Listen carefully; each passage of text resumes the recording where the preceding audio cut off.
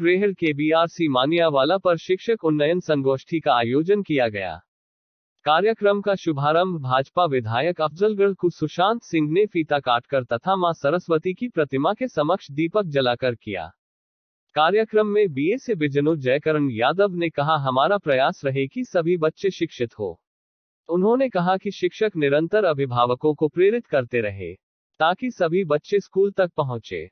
भाजपा विधायक कुंवर सुशांत सिंह ने बताया कि बेसिक शिक्षा विभाग के प्रयासों से आज विद्यालय सभी सुविधाओं से पूर्ण है। साथ ही सत्र के आरंभ में ही पुस्तकें मिलना भी एक उपलब्धि है। इस अवसर पर विधायक कुंवर सुशांत सिंह व बीएसए ने पाठ्य पुस्तकों का वितरण किया। आयोजकों ने सभी अतिथियों का माल्यार्पण व तिलक लगाकर स्वागत किया।